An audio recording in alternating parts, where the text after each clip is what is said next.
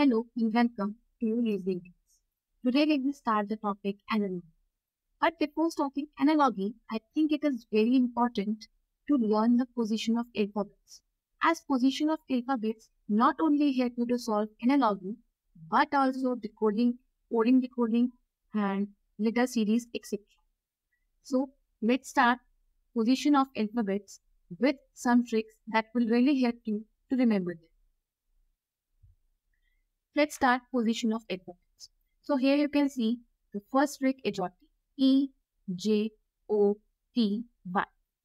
एजॉटी से हम लोग याद करेंगे पाँच लेटर्स की प्लेस वैल्यू लाइक ई की प्लेस वैल्यू क्या है? फाइव एंड जे की place value is ten O की प्लेस है फिफ्टीन टी की प्लेस है ट्वेंटी एंड वाई की प्लेस है ट्वेंटी एजॉटी बहुत ईजी रहता है बिकॉज़ यहाँ पे हम डायरेक्टली देख सकते हैं, हर एक वैल्यू जो है वो फाइव के डिफरेंस पे लाइक फाइव प्लस फाइव करोगे तो ten ten plus five fifteen fifteen plus five twenty twenty plus five twenty तो EJOTY E J O T Y is very easy to learn with difference of five तो बहुत easy है। आगे आते हैं ई e को भी आप कैसे याद रख सकते हो? और ई e को और याद रख सकते हैं हम लोग इवनिंग इवनिंग तो इवनिंग होती है शाम को पाँच बजे। तो उससे याद रख आप याद रखोगे कि ई आता है आपका फाइव नेक्स्ट है टेन तो टेन पे आता है आपका जे और जे को अगर आप ध्यान से देखो तो जे की फॉर्मेशन होती है लाइक दिस तो इस जे को एक थोड़ा सा मैं मोटिवेट करूँ, उसकी फिगर को, या वन लगाया और इस डॉट को यहाँ लिया है ज़ीरो की फॉर्म में तो ये बन गया जे का टेन तो जे आता है आपका टेन पे.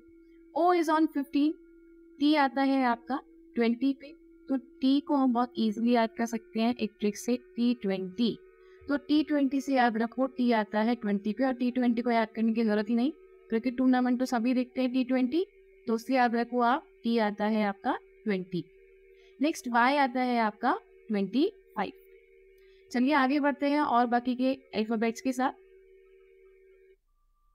सो so, आगे चलने से पहले आपके लिए एक इन्फॉर्मेशन है हमारा एक बैच आ रहा है सैनिक प्लस आरएमएस के लिए। और that batch will start from first of August और इसका ड्यूरेशन होगा फाइव मंथ्स का. और जो टाइमिंग होगी, वो होगी four P M to seven P M evening में. आपको यहाँ पर रिकॉर्डेड साथ साथ लाइव सेशन दोनों अवेलेबल होंगे. साथ ही साथ multiple mock test five thousand plus P आपको अवेलेबल होगी. One to one doubt session भी होगा सो आपको कोई प्रॉब्लम ही नहीं आएगी. नेक्स्ट आपका मंडे टू सैटरडे क्लासेस रहेंगी इवनिंग में. So don't forget to enrol in this batch चलिए फिर आगे बढ़ते हैं। आगे अपने। लेट स्टार्ट तो ए बी सी डी ई तो ए बी सी डी तो याद करने की ज़रूरत ही नहीं पड़ती। A is on one B is on two C three D four तो इनको तो आपसे अगर नींद में भी पूछूँ तो भी आप बता देंगे। One two three four A B C D okay तो चलती है आगे ई e पे ई e हमने ऑलरेडी इजॉटी वाली ट्रिक में याद कर लिया था। नाउ नेक्स्ट इज़ एफ़ तो एफ़ को कैसे याद रखेंगे? एफ़ सिक्स पे आता है तो एफ़ को याद रखेंगे by the trick fix and six तो ये थोड़ा सा साउंड करेगा फिक्स सिक्स सिक्स जैसा। तो उससे आप याद रखेंगे एफ़ किस पे आता है? सिक्स पे आता now moving on to G तो जी पे अगर आए तो जी आता है आपका सेवन तो जी सेवन पे कैसे याद रखेंगे? जी सेवन पे याद रखेंगे जी सेवन समिट तो एक समिट होती है, इसमें सेवन कंट्रीज़ पार्टिसिपेट करती है, जो कि इस बार इंडिया में भी हुई थी। तो जी सेवन से याद रखेंगे जी कौन सी प्लेस में आता है? सेवन नेक्स्ट है एच एच को कैसे याद रखेंगे? एच आता है आपका एट पे। तो उसको याद रखेंगे हाइट से। हाइट से याद रखेंगे एट तो एच आता है आपका एट ओके तो ऐसे याद रखेंगे हाइट की। ट्रिक्स से निमोनिक से कि हाइट आता है एच आता है एट नेक्स्ट है आई आई नाइन पे आता है और उसको याद रखेंगे आप I no I no I no ये नो जो है थोड़ा साउंड करेगा नो जैसा। तो ऐसे आप याद रखोगे आई नो जी, हमने ऑलरेडी जॉटी में याद कर लिया था तो उसको और दोबारा से याद करने की ज़रूरत नहीं। आते हैं के पे। तो के याद रखेंगे? आता है इलेवन पे और कैसे याद रखोगे? Kings Eleven Punjab. आईपीएल में टीम है किंग्स इलेवन पंजाब तो उससे याद रखोगे के किस पे आता है? इलेवन। चलिए आगे बढ़ते हैं एल की तरफ़। सो एल आता है आपका ट्वेल्थ पे। तो एल को याद रखेंगे लंच टाइम कैसे? लंच टाइम लंच टाइम कितने बजे होता है? बारह बजे। तो ऐसे याद रखोगे कि एल होता है ट्वेल्व चलिए आगे बढ़ते हैं पर।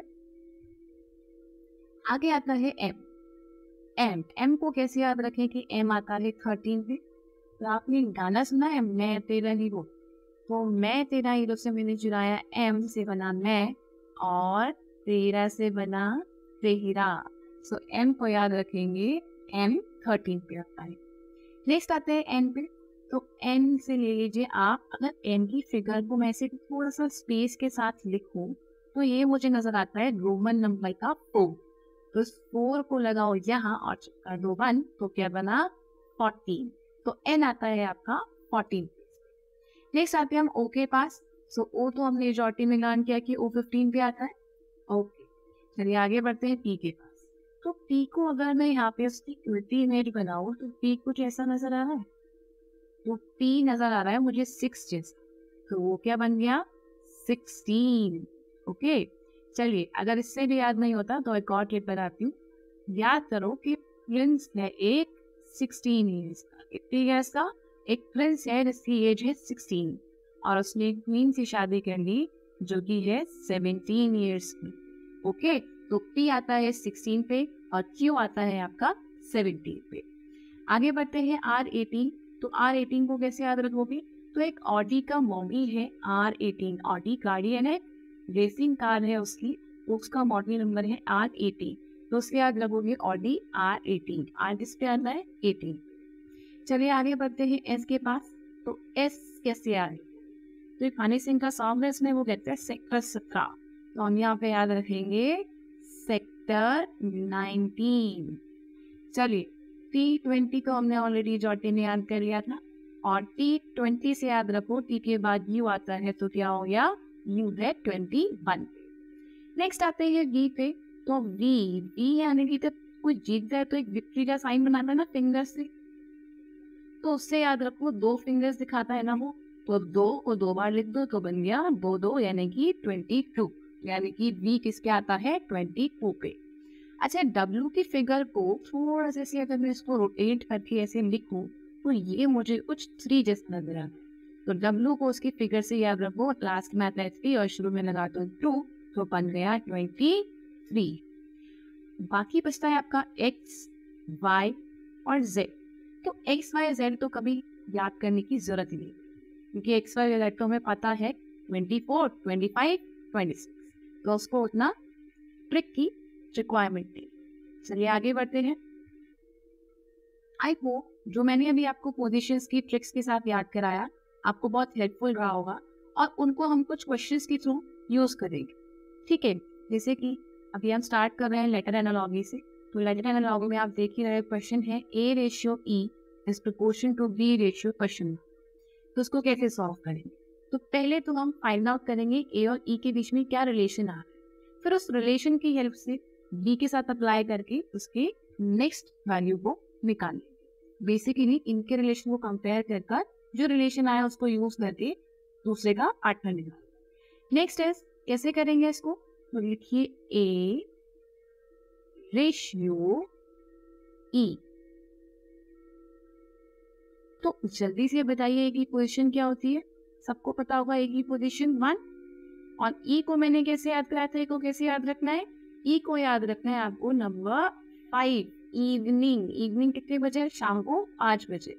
तो अगर ध्यान से देखिए तो वन से फाइव पे वैल्यू गई है। दैट मीन्स कितना ऐड हुआ है? प्लस फोर ऐड हुआ है। तो यही सेम रिलेशन हम लगाएँगे दूसरी यानी कि बी के साथ। तो बी रेशियो बी आता है आपका नंबर टू पे। जितना ऐड इधर किया था, उतना ही इधर ऐड करेंगे। यानी कि बी में ऐड करेंगे प्लस फोर तो टू में प्लस फोर ऐड करेंगे तो आएगा बिल्कुल सही सिक्स और सिक्स पे मैंने कैसे याद कराया था? Fix six fix six F और फिक्स यानी कि आएगा आपका F yes so option number B is the right I hope सबको समझ आए तो चलिए नेक्स्ट क्वेश्चन है आपकी स्क्रीन पे that is question number two A B ratio L proportion to B C ratio question mark जल्दी से ट्राई कीजिए। तो जल्दी से बताओ कि ए कौन सी पोजीशन पे ए बी रेशियो तो ए आता है बिल्कुल सही वन पे और बी आता है टू पे। अब जल्दी से बताओ एल की क्या ट्रिक बताई थी? याद आया सबको? एल से लंच और लंच कितने बजे करना है? बारह बजे। तो एल बारह।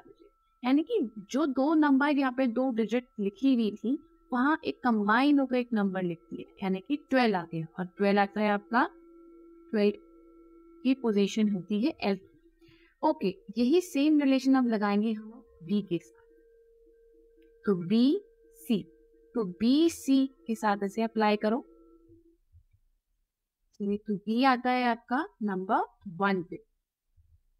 नहीं नंबर टू एग्जैक्टली तो टू और यहाँ पर आया थ्री सी आता है आपका थ्री तो अब ये देखो, पूरा कंबाइन होकर क्या बनेगा?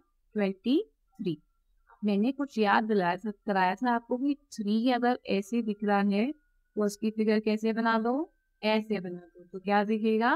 डब्ल्यू तो यस इसका जो ऑप्शन नंबर ए होगा that is correct option number A is that is W I hope ये वीडियो आपके लिए बहुत ज़्यादा हेल्पफुल रहेगा।